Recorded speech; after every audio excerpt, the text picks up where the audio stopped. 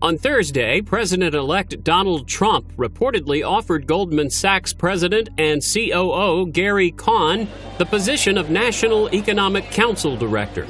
The selection makes Cohn the third Goldman Sachs executive to become a top aide in Trump's cabinet. Cohn joined the investment bank back in 1990 and became a partner in 1994.